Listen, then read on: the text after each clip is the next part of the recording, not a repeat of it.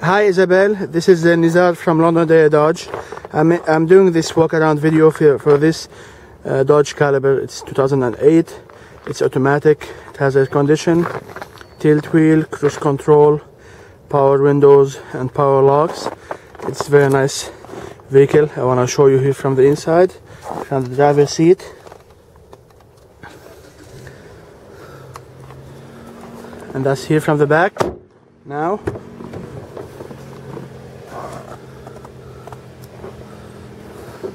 That's here from the trunk side.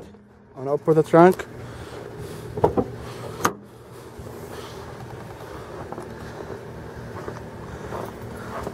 There's large room in the back. And you can fold those back seats. That's here from the other side.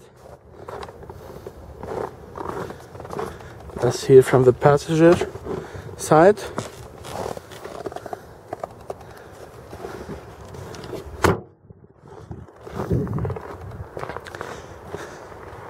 I hope to see you soon, Isabel. Thank you so much for considering the Londonderry Dodge for your next purchase. My name again is Nizar and I will be more than happy to help you. Have a nice day.